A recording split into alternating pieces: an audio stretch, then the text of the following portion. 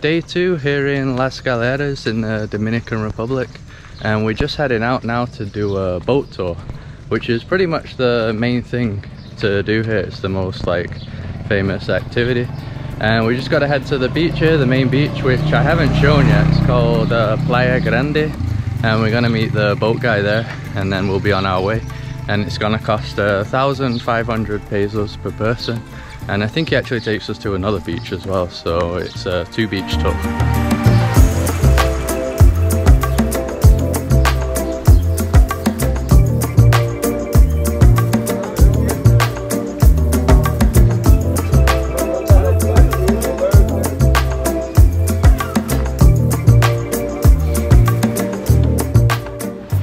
So this is the main beach here that I was talking about, Playa Grande. Beautiful beach, a lot bigger than the one that we visited in the last video. The one that we went to last time, Playita, is just around there, around the corner.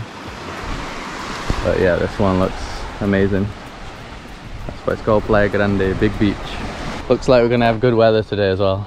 Yeah, there are some clouds, but I think it opens up for most of the time. I hope so. I hope it will stay like that. Yeah, better than the last time we tried going to the beach. I guess these are all the boats for the boat tours. All the little motorboats.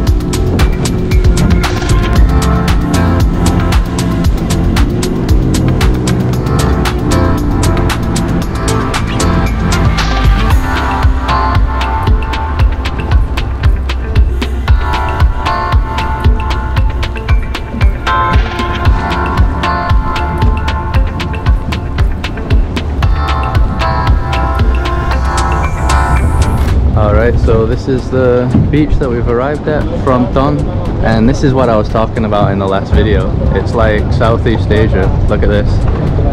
The limestone cliffs, just like El Nido in the Philippines.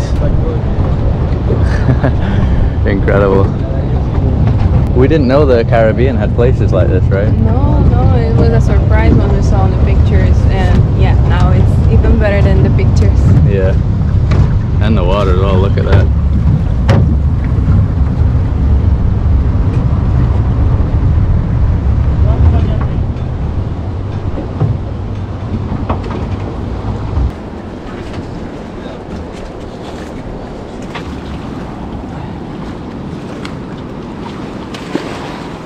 So we're just trying to find a, a spot to sit at. It's basically a deserted beach, so there's no bars, no restaurants or anything. The only main problem is the same problem that you get throughout the Caribbean now, which is that you have the sargassum. So there's loads of sargassum here, especially since it's deserted, nobody cleans it up. And that's kind of like plagued the Caribbean, even the Riviera Maya in, um, in Mexico. I think it's been around for like the last, uh, what is it, like four or five years? Yeah, I think so, or even more than that, six years, I don't know. But yeah, it's an issue because the, the beach is so beautiful and the water seems to be clean, but there's the, the, the, The algae. seaweed, yeah. yeah. Yeah, so even in the water here, it kind of like makes it not clear anymore. That's what happened in the Riviera Maya in Mexico. But I am loving these limestone cliffs. Yeah, besides that, like I said, it just looks like we're in Southeast Asia.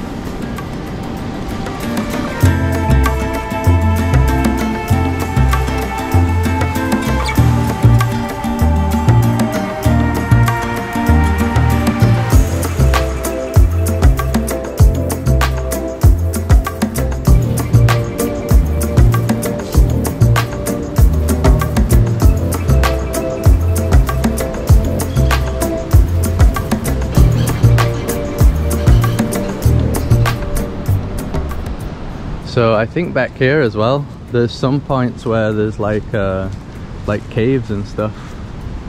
If you go down the trails at the back, might check it out later on. Yeah, maybe this will be our spot here with some natural shade. We don't have uh, an umbrella.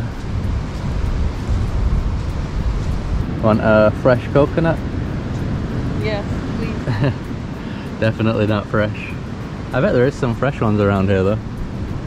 That looks like a green one over there. And I think you can uh, camp here, right? Yeah, we saw some people camping over there, but uh, we're not not sure how they did it, or they, maybe they just talked with the locals. I don't know how how can you do it. Yeah, probably just the boat guy brings you and you're allowed to stay overnight. Yeah, I guess so. Yeah. There's like some picnic tables, stuff like that. I'm not sure what the safety is like here though, because um, like the guy, the boat guy just told us now, he said if we were going over to the other side, there's like a little hidden beach over there. He said to not take all the camera gear or we have to go with him or something. So yeah, that's kind of weird. And there's also a trail here. You don't have to do the boat tour here. There's a trail that's like an hour and a half, um, two hours. So you come from somewhere over there. I think there's one trail that comes over the rocks and then there's one that um, comes like down the coast, which is a lot longer. But then yeah, a lot of reviews said there's issues with like robberies and stuff. So yeah, I guess they do have those issues here. Some people say that the locals exaggerate the robberies so that um, you do the boat tours, right? You spend the money. So I'm not sure what's true, but we did see some reviews from people saying that they did get get robbed doing the trail.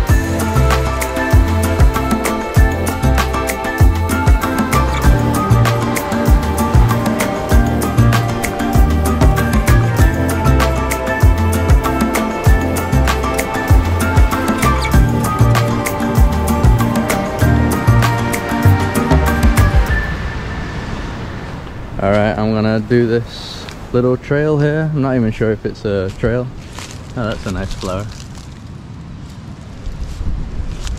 I saw a picture and there was a cave. I'm not sure if it's exactly on this beach though, but yeah, we'll find out. Man, look at all these old shells of coconuts everywhere. Hopefully there's nothing lurking around here. Yeah, I want to get over that way, but I don't see a path. I think this looks like a path, right? It looks like there's something man-made here. For water maybe? I don't know. Whoa, it goes deep. yeah, maybe that is for water. Man, this is completely like El Nido though. If you watch that video where we went to an island called Pinagbuyutan, it's actually our most viewed video. It was kind of like this, like when we went inside. yeah, so here's a better look at the, the rocks. I really didn't know they had these like limestone rocks in the Caribbean. Amazing.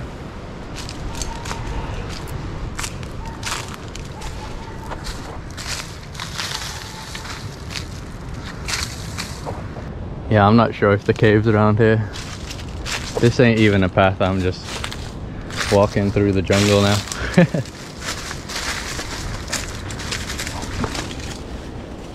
yeah, I don't see any caves.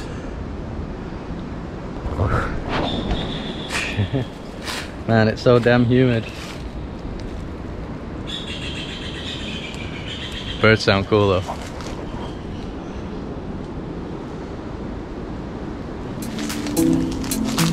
Right, let's head back.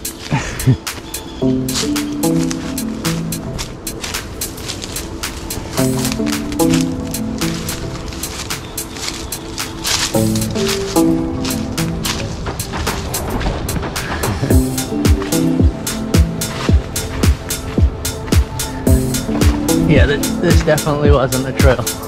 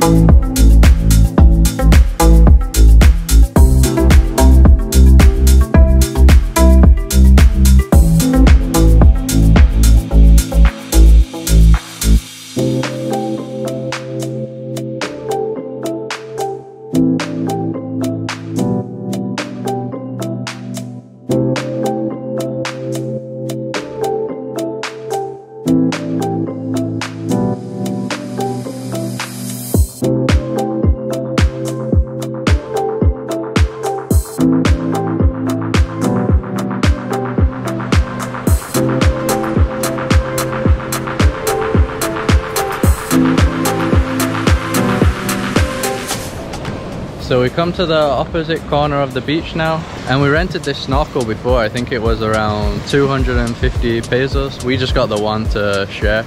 And he said over there it's dangerous where we were before. So yeah, we got to go to this spot here and there should be some corals and stuff apparently.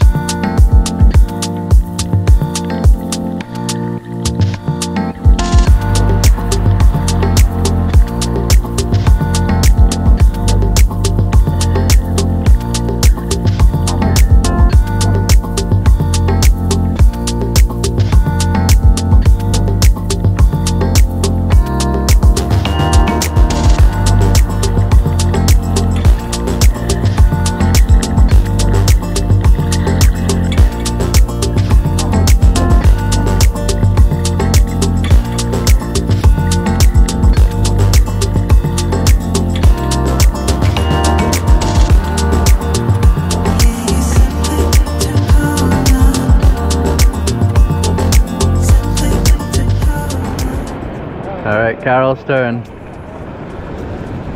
Watch out for the sea urchins. There's a lot. Got more boat tours arriving now.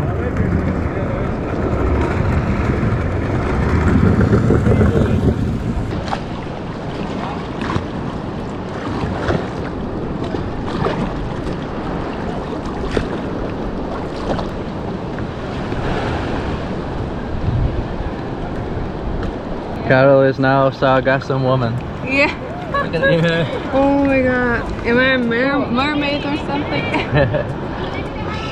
In all the photos, it was without Sargassum, right? So, I'm not sure if it's only like this part of the year or something. like seasonal. yeah. Yeah, maybe we just got unlucky. Still trying to remove the Sargassum. Yeah. Oh, it's everywhere. Uh-huh. Over here as well. Oh Jesus. So there's quite a lot of corals, but not that many fish. There's just a few. It's kind of tiring as well because the water's so strong today. Loads of waves out there hitting the, the corals, so kind of hard to swim. And also the mast kind of sucked because the snorkel doesn't have anything to connect it to the mast, so you have to hold it the whole time. So yeah, that's tiring. That's the problem when you rent masts. Uh, there's so many times we do boat tours and the masts are crappy, but at least water didn't enter the mast, so yeah, that was good. It's a lot nicer on this side because at least there's a bit of clear water. So I think normally it would look like this everywhere, but yeah, right now you got this going on. Maybe it is seasonal, I'm not sure. Still beautiful though.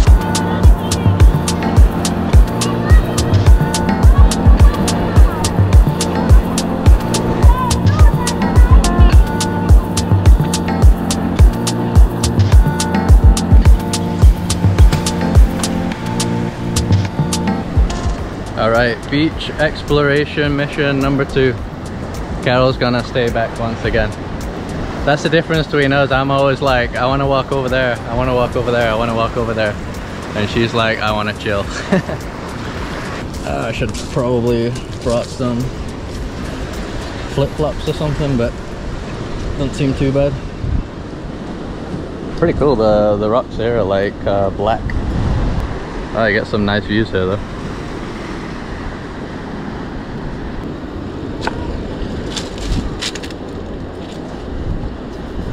So on this side it's kind of like a pebble stone beach I guess. Nobody really comes here. But there isn't that much sargassum here so yeah the water is really clear. Actually looks better to swim here. But yeah look at those landscapes, I'm loving it. South Southeast Asia we're back.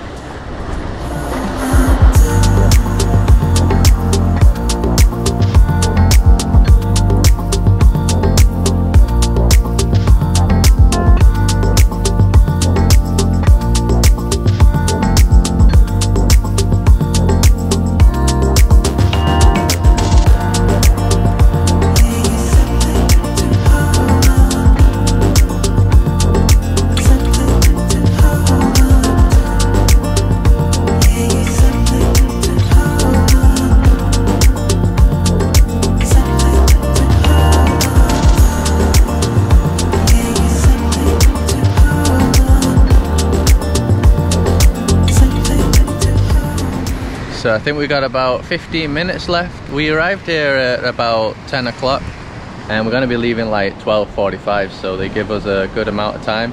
And then I think the next beach uh, is not, not as long but yeah I think we'll still have like 45 minutes an hour. And the next one is, is it Playa Madama? I think so. Playa Madama, I think that's what it's called.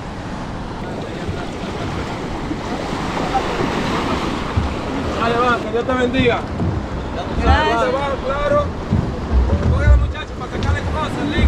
Dogs can do the tour. Got some doggos. Meet Lulu, Lulu, the abandoned dog. she enjoyed the beach. Yeah, she did. Sorry.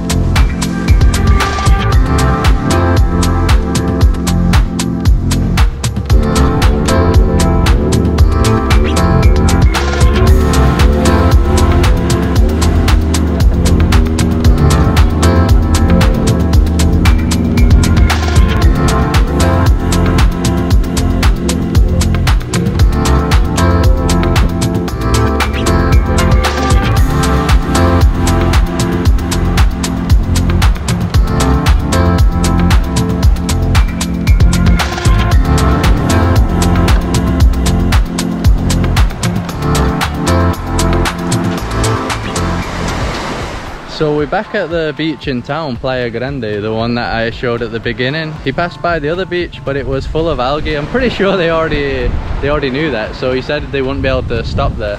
And we did pay for the tour that was um, two beaches. There is a there is the option to just do the taxi boat to to just Fronton for cheaper. They charged us for two beaches, but we only visited one. But yeah, it, it is what it is. We still even tipped them anyway, but yeah, I thought that was a bit cheeky of them. I'm pretty sure they knew before we went that they couldn't visit that beach because yeah, the algae the algae was huge. It must have been like that for for weeks or something. But not a big deal because this main beach here is absolutely beautiful. Water's a lot nicer than those beaches on the tour anyway, so yeah, this is a good place to hang out. It's kind of bizarre though, this is the main beach in town and there's literally just me and Carol on the beach. I don't think there's anybody on the, the whole beach stretch. Completely empty. This place in general is super deserted. So on the main strip, there's loads of like restaurants and stuff, but the the majority are closed. So I'm not sure if that's like businesses that failed during COVID. I mean, there's barely any tourists here now, and Dominican Republic's wide open. Like you can come here, you don't need to do a COVID test or or anything. You can just come here. So yeah, just bizarre. I didn't expect it to be this empty.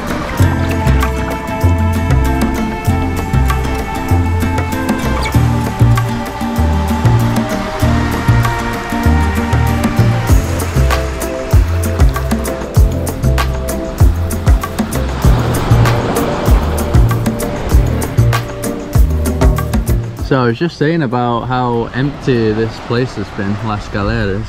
Yes, I think Las Galeras is the emptiest one in the peninsula of Samana. I think there's uh, the main city is Samana, and then there's uh, Las Terrenas, which, is Which- a place we might go after. Yeah, I think we will go, right? Yeah, And I I- think there is uh, more touristy, but I think it will be still like laid back like here. Not as much as here, but still a nice vibe. Yeah, I think the, I think the peninsula is pretty laid back overall. Yes, because I think most of the tourists just go to Punta Cana, which is the most famous place in the country, and that, that's why we are loving it here because it's very empty and laid, laid back as well, and beautiful.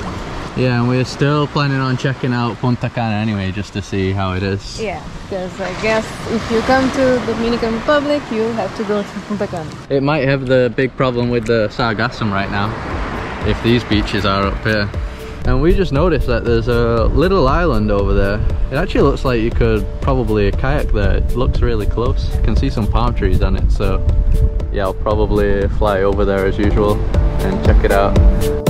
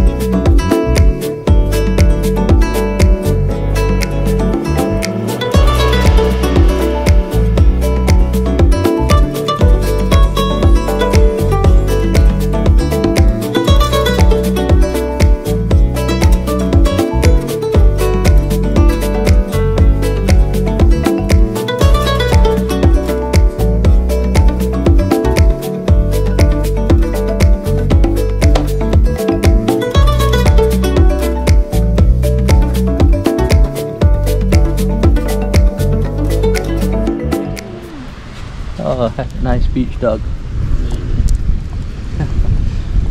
Look at me. Mm. Already best friends. Nice and salty. Lick my knees. yeah, we're heading out of the beach now. Really nice hotel here. Check this out. It's called Todo Blanco because it is all white. Huge hotel. Right on the beach too. And then right next to it seems like you got a, like a beach bar here. At uh, sunset time they play volleyball here, the locals, right? Yeah, we saw it yesterday. Yeah, they were playing volleyball, so seems like one of the local hangout spots. It's pretty nice. A nice place to have a drink, right? Yeah. Mm-hmm. I think they have food as well. Caipirinha. Caipirinhas, Brazilian drink. Yeah, so this is what I was talking about before. This is like the main street, but it's always pretty much uh, like a ghost town. Never really many people walking around. So I ended up picking up uh, 10 bananas. That was 100 pesos. Make some more milkshakes. Got banana trees there, look. Could have grabbed some here instead for free the banana thief.